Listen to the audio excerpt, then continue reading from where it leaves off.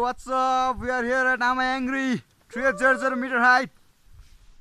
And we finally reached here. केटाहरू चारजना पुगिसकेको छ। चारजना आउन बाँकी छ अझ। देखिरहेछ। यता ऊ। हिमाल देख्न सकिन्छ यता। एकदम चिसो छ। ऊ त्यो कुन हिमाल रे? सैन्दा यताको यो यो कुन? अनि उ त्यो उ त्यो। यो कञ्चनजङ्घा सहरमा त माउन्ट एभरेस्ट एउटै हो दाइ। सही हो तर। हावा सही चलिरहेछ।